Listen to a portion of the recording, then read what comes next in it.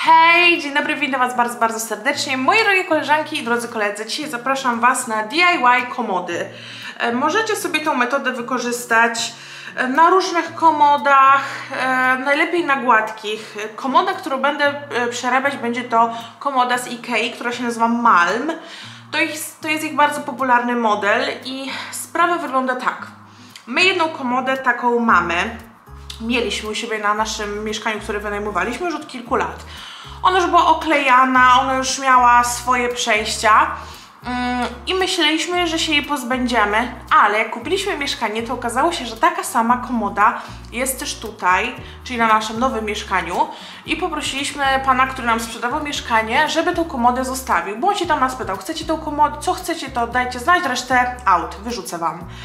No i powiedzieliśmy, panie, wywal pan wszystko, tylko zostaw nam deskę do prasowania i właśnie tą komodę, bo chociaż ta komoda jest lelawa, trochę rozklekotana, e, no to stwierdziłam, że przez to, że mamy taką samą komodę w domu u siebie, to zrobię DIY, dlatego że jeszcze nie wiem, jaką bym chciała komodę e, i stwierdziłam, pobawię się, zrobimy przeróbkę i zobaczymy jak będzie. Może nam się dobrze będzie sprawdzać przez parę miesięcy, może przez rok, może przez dwa, zobaczymy. Także dzisiaj będę przerabiać komodę.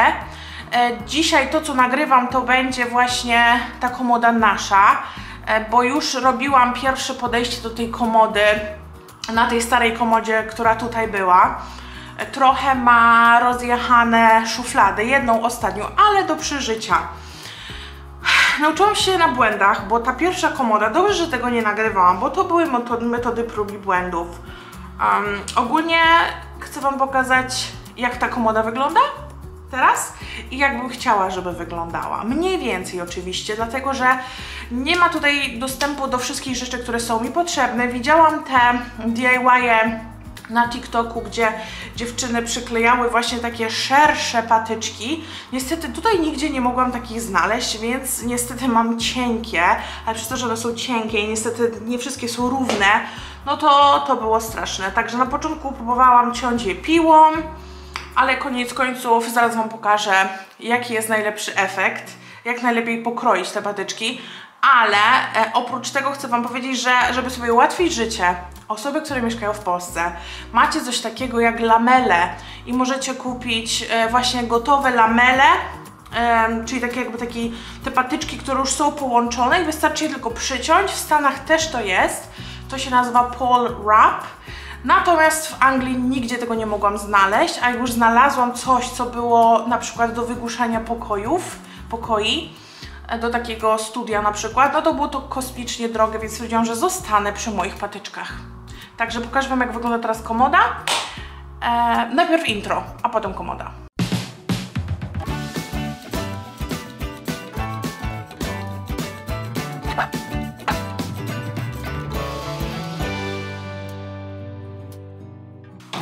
Proszę bardzo, mamy Malma, to jest naprawdę najbardziej basic, basicowa komoda.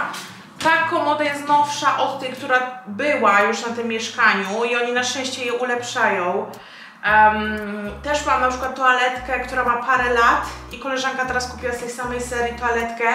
Też się dużo łatwiej składało, jest po prostu ulepszona. Lepsze są szyny, wszystko jest lepsze.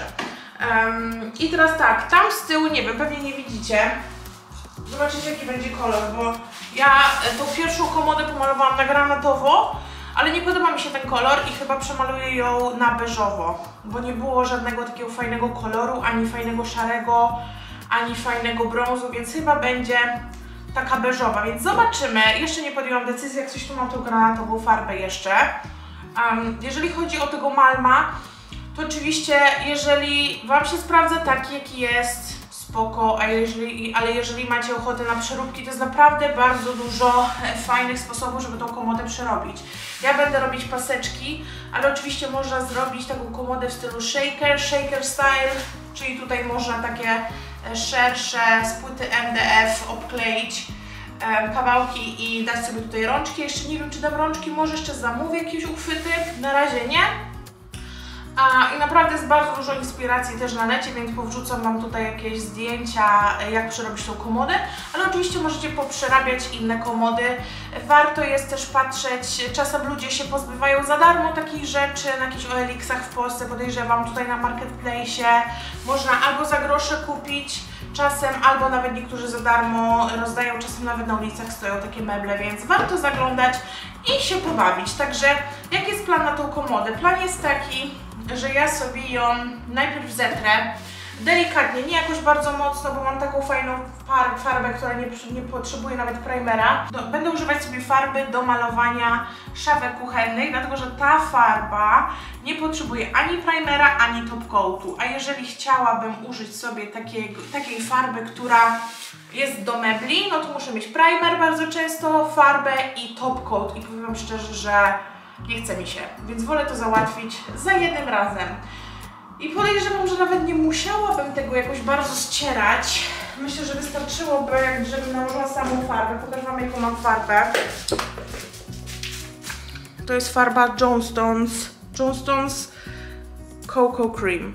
Także zobaczymy. Mam nadzieję, że będzie ładna. Tutaj wygląda trochę na magnolię, ale też się martwiłam, że szafki mi wyjdą magnoliowe, wyszły bardzo ładne. Także mam nadzieję, że też mi tutaj wyjdzie ładnie, chociaż to jest inny kolor niż, niż kuchni. Film z kuchnią będzie oczywiście osobny, tylko jeszcze nie jest skończona. Także będę sobie tego używać i roleczki, wałeczka.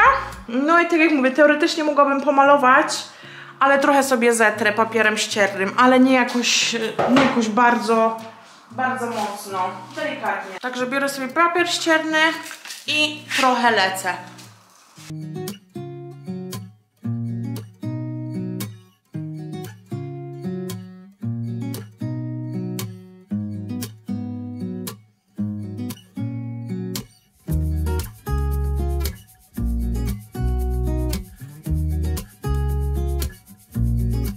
Dobra, tutaj sobie zaraz muzę włączę, bo musi być muza. I teraz tak, będę sobie używać kleju, to się nazywa, ten klej się nazywa No More Nails i ten klej możecie kupić w B&M, w B&Q, na Amazonie. To jest taki mocny klej, który e, zasycha i jest do metalu, drewna, kamienia, no do wszystkich, y, meta do, do, wszystkich materiałów tak naprawdę i ja mam ten bezbarwny, wcześniej używałam białego i było trochę paprania, także tym razem wzięłam bezbarwny. Będę sobie go wylewać tutaj na papier i zobaczcie, mam tutaj pędzelek do oczu, którego nie używam, bo pędzelkiem mi się najlepiej nakłada. No i oczywiście te nasze szczęsne, nieszczęsne patyczki. Mówię dlatego, Mówię szczerze, nieszczęsne, no bo efekt jest spoko, tylko tak jak mówiłam Wam, ja zamówiłam bardzo wąskie. Moje mają 9 mm, więc niecały centymetr a na szerokość mają 40. Ja sobie tak obliczyłam, tak sobie obliczyłam, że sobie nie obliczyłam, bo stwierdziłam, że jeżeli kupię patyczki, które mają 40 cm, jak przekroję je na pół, to będzie po 20 i tak myślałam, że tutaj jest, w sensie myślałam, myślałam, źle policzyłam, bo policzyłam, że e, ta komoda ma 20 cm, a okazuje się, że ma chyba 21 albo 22, więc jak się rozetnie te patyczki na pół, no to niestety nie wychodzi to równo. I też jest dużo pitolenia z przekrojeniem tych patyczków. Próbowałam piłą ręczną, myślałam, że podjadę do B&Q, żeby mi przycięli, ale te patyczki są za małe, żeby ta ich maszyna mi je przycięła. Więc Mati wymyślił, dał mi taką radę, żebym po prostu długie przyklejała, a jak już zastygną i się przykleją, to później się je po prostu obcina na raz na całej długości i e, szlifuje po bokach, żeby nie było ostrości. Także tak niestety się z tym trzeba pitolić. Gdyby były szersze, takie 2-3 centymetrowe, byłoby dużo łatwiej. E, dlatego ja w ogóle chciałam, żeby one były obok siebie tak ściśnięte, ale wtedy tych patyczków bardzo dużo idzie, więc e, ja sobie wymyśliłam, że co drugi naklejam. Także co drugi będę naklejać. No i jak macie czas i chęci, no to fajny DIY, ale jak nie macie czasu, chęci ani cierpliwości, to jest tym dużo pitolenia, ale mam nadzieję, że efekt będzie tego warty. Te patyczki zamówiłam na Amazonie. Jeżeli kogoś to interesuje, to zostawię Wam linka w opisie. Więc co? Wylewam sobie trochę tego kleju. Będę go e, dolewać i to jest ten bezbarwny właśnie Jestem ciekawa. On na pierwszy rzut oka to jest taki, wiecie, kleik jak szkolny, ale jak już zaschnie, to, to zaschnie porządnie. I teraz tak, z tymi pateczkami to jest też tak, że one niestety wszystkie nie są równe, więc to nigdy nie będzie bardzo idealnie. E, ale wrzucę Wam może tutaj tego TikToka dziewczyny, która, e, która robiła tą komodę i ona kroiła to. Widzicie, ona to, to jest ten pole wrap, e, czyli ona ma taką jakby taki materiał, już te paczyczki są na materiale i to się tylko klei, więc tym idzie bardzo szybko, bardzo prosto. No ale tak jak Wam mówiłam, ja tego nigdzie nie mogę znaleźć, więc ja się pitolę. I powiem Wam szczerze, żałuję, bo ja już wiem, bo ja już jedną komodę zrobiłam.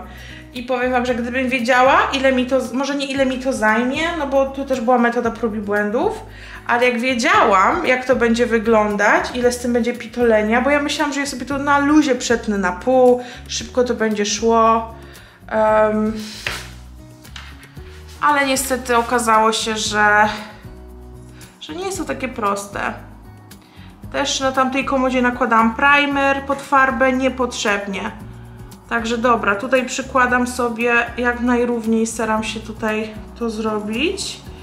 Yy, I tak jakby dłuższa część tego patyczka zostawiam od dołu szuflady, żeby od dołu później ciąć. No i mamy coś takiego. I teraz tego nie ruszam. On nie zastyga w sekundę. Więc można łatwo tam gdzieś zahaczem się przysunie ten patyczek ale jak już zastygnie to nie do naruszenia. I teraz biorę drugi i przykładam i robię sobie tak jakby, wiecie, przerwę, żeby wiedzieć gdzie nakleić kolejne, ale widzicie one nie są, niestety nie są idealnie też pocięte. Ale powiem że ja już prawie ryczałam jak ja to widziałam. Matin mówi, dobra skończ, pomaluj i, i, i wtedy dopiero będzie widać ten efekt. No i w sumie jak się pomaluje to, to dużo lepiej to wygląda. Także ja sobie nakładam i teraz Was po prostu przyspieszę, dlatego że no nie ma sensu, żebym tutaj stała, gadała, bo tu będziemy tak stać i gadać podejrzewam do jutra. Nawet nie wiem ile mi zajmie dzisiaj to i ile dzisiaj zrobię. No ale zobaczymy. Tego kleju tu tak daje średnio, nie za dużo, nie za mało. Trzeba ścierać po bokach. Właśnie ten klej jak Wam też yy, przy, przy dociskaniu wyleci, to trzeba go zebrać od razu, bo a później jak będziecie malować, to ten klej będzie widoczny. Także o, widzicie, one trochę jeżdżą, trzeba uważać.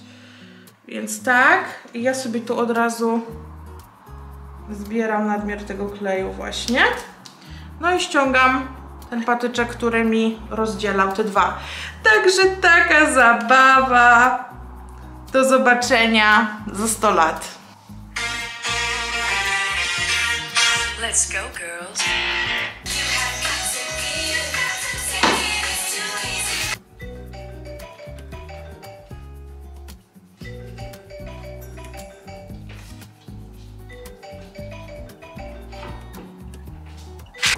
Dobra, słuchajcie, mamy to.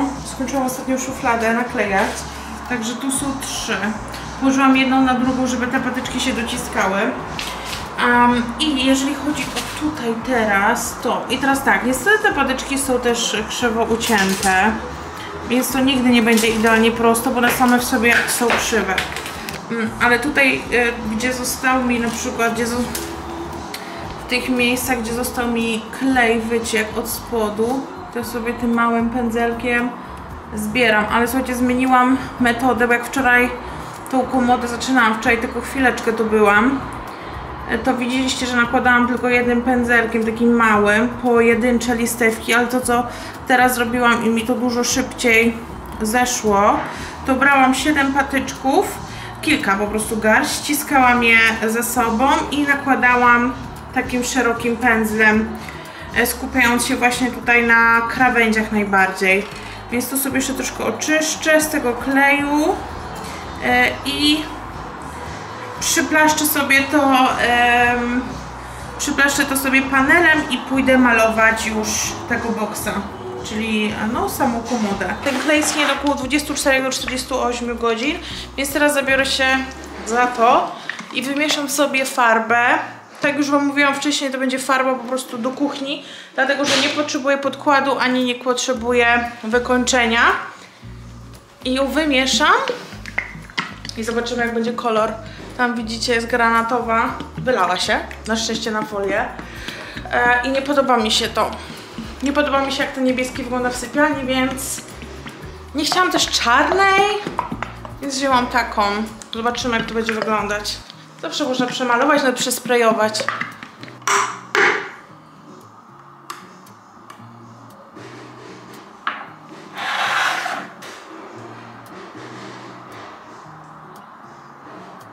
No dobra, chwila prawdy. Zobaczymy jak złapie.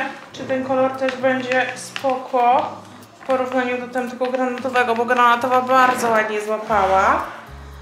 E, także będę wzdłuż słojów malować. Akurat nie widzicie. Pięknie. Wow, ale by urwał. Dobra, jest jasna, ale nie biała, co mi się podoba. Przez sekundę myślałam, żeby pomalować na biało, ale stwierdziłam nie. Będzie za biało. Białe są ściany, więc na pewno będą też jakieś inne mocniejsze akcenty, żeby nie było tak jasno. Ale chcę, żeby było jasno, jeżeli ma to sens. W sensie nie chcę, żeby było biało. Powiem że ta farba z Jonestones y, dużo szybciej wysycha niż z Wilko, bo ja Wilko y, farbą malowałam kuchnię. No i ta farba na kuchni schła, Jezu, no z dwa dni, więc dużo dłużej.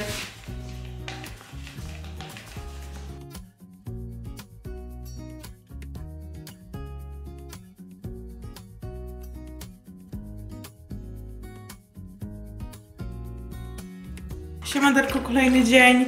Przyszłam sprawdzić jak tam pierwsza warstwa i niestety te słoje Mam nadzieję, że druga warstwa to przykryje. Mm, kanapa, komoda, którą robiłam wcześniej, e, nie miała tych słoi, tylko była gładka, więc nie wiem jak to będzie wyglądać. Kurde, może po prostu trzy warstwy wtedy? No nic, pomaluję drugą warstwę i zaraz zobaczymy jak ta druga warstwa będzie wyglądać, bo jak będą te słoje, no to Lipton.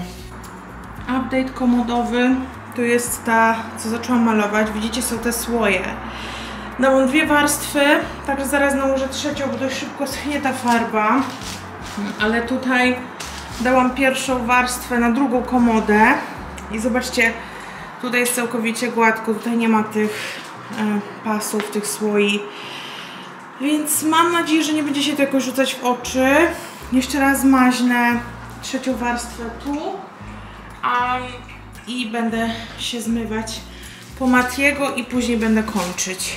Jeżeli chodzi o przycinanie tych patyczków, to przycinamy je takim multitulem Dewalta i tutaj akurat jest końcówka do ścierania, dlatego że później trzeba je jeszcze wyszlifować. Um, no i po prostu tutaj się leci wzdłuż tej linii. Niektóre patyczki troszkę mogą odpaść, ale potem się je doklei, także spoko. No i już są pocięte, to malowanko. Lecimy z koksem.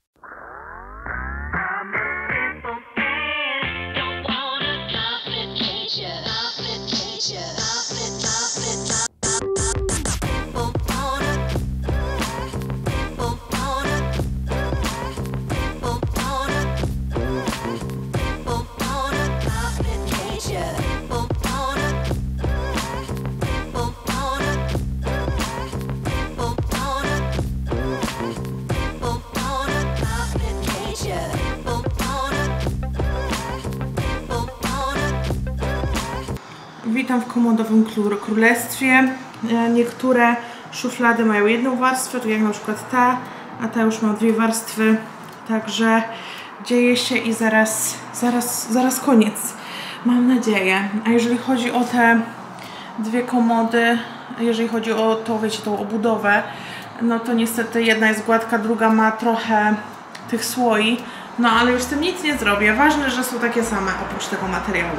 Także podoba mi się ten kolor 10 na 10 i chyba nie będę dawała żadnych uchwytów, ale tego jeszcze nie wiem. Zobaczymy. Leci makaryna w tle, nie będę tutaj długo. ale już wam pokazuję, że przynieśliśmy dwie komody. One oczywiście będą złączone ze sobą, ale nie chciałabym, żeby się skleiły na wypadek. O, nawet te słoje tu u góry fajnie wypełniło. Nie chciałam, żeby się skleiły. Także taka sytuacja. Zaraz wysną komody, w sensie z szuflady i zobaczymy, jaki będzie efekt końcowy. Mamy to! Nie jest idealnie. Ta-da!